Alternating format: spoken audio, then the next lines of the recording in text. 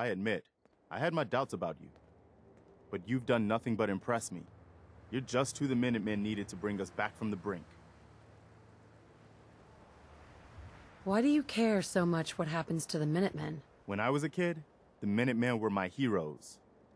They were the only good guys around, really. When I turned 17, I joined up with Ezra Hollis's company. He was one of the good ones. Really believed in the old-time Minuteman way. We had a few good years there. I felt like I was part of something bigger than me, like I was really helping make the Commonwealth a better place. If things were so great back then, how did it all fall apart so fast? I'm sure there was a lot I didn't see or know enough to pay attention to. You know, the politics and rivalries and bad blood between the different groups. I guess General Becker was able to keep a lid on it, keep everyone more or less on the same team. But after he was killed, it all came out in the open. I couldn't believe it at first. These guys were supposed to be Minutemen. They were supposed to put their duty to the people ahead of everything else. You probably think I was pretty naive, huh? I guess I was. Still am, too. Even after everything, I still believe that the Minutemen can be what I always thought they were. The good guys. Why are you telling me all of this? I guess I'm just trying to say thank you, if that makes any sense. Thank you for being different than most everyone else I've run across. Anyway, I appreciate you taking the time to listen. Anything else? No, that was it. We'd probably better get back to it. Hey, Just po- yeah? just curious what you're thinking. Don't know if I believe all those boogeyman stories about the Institute. It all sounds like paranoia to me. What are you thinking about? The Commonwealth's a lot bigger than I realized. That's all for now. No problem.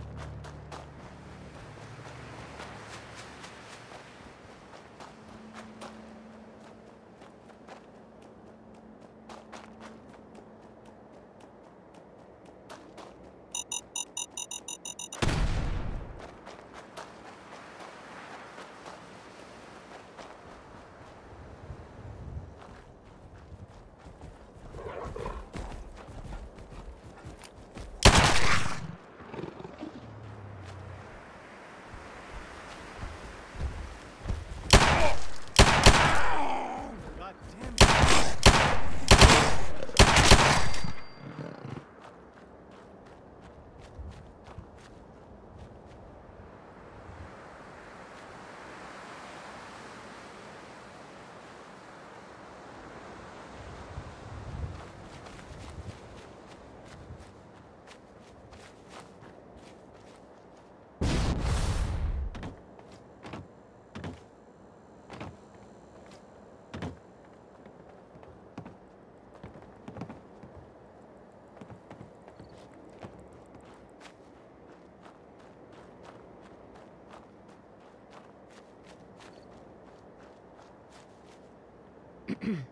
Please, you've got to help me.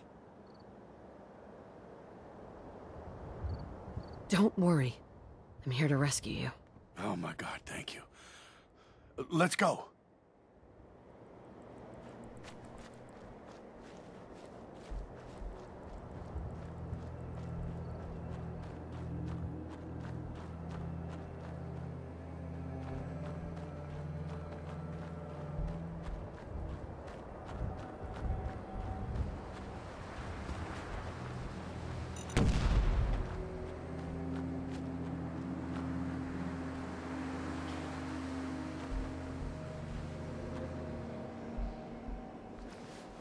Hey there. Easy living. This ain't.